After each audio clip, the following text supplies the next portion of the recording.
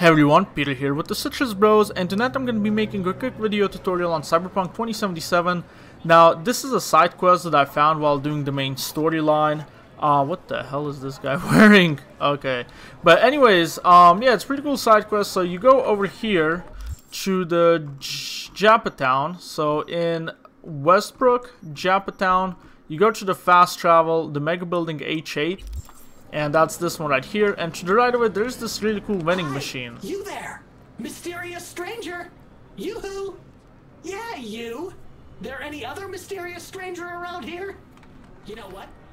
How about I tell you a joke? So yeah, you can talk to this vending machine and do a real quick quest for him. Now, as far as like whether this plays into anything else or has like you know any bigger meaning in the world or like has any impact, I don't know. But I thought it's really cool kind of side quest. Um, you know, I, th I think it's funny talking to the machine and helping him out. You know, kind of reminds me of Claptrap from Borderlands. All you need to do it is uh, body level 4. I'm pretty sure all of you should have that. And yeah, I'll kind of let the quest for you. It takes like not even 5 minutes. Uh, you know, that way you can enjoy it. Again, it's in Mega, Town, Mega Building H8 in Japantown. Uh, if you guys find any other cool quests, you know, drop the quest name or the location in the comments below. I really do like exploring the city and trying them out.